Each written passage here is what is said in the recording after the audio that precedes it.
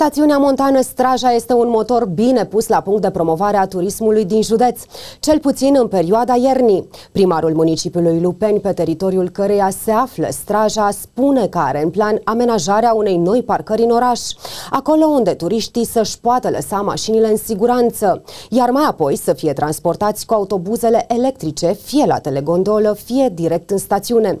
Acest proiect a fost gândit pentru a decongestiona traficul din Straja. Stațiunea Straja are cele mai bune pârtii din România. Fără nicio lipsă de modestie. Ce lipsește stațiunii Straja acum? Îi mai lipsește câte ceva, cei drept. Îi Ce? lipsește, în primul rând, o parcare mare la intrare în Lupeni. De unde să lăsăm mașinile și să nu ne mai creeze mm, aglomerațiile care sunt imposibil de gestionat momentan. Aveți în plan uh, amenajarea unei astfel de parcări? Avem pe mobilitate urbană, încercăm să vedem. O să avem întâlnire cu ADR-ul mâine.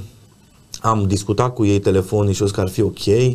Și de acolo cu autobuze electrice să reușim să ducem turiștii în, uh, în, la gondolă sau în straja, depinde cum uh, cum Aveți dorește aceste fiecare. autobuze sau ați depus un Pe uh, mobilitate proiect? vrem să depunem acum. Încă nu s-a dat drumul.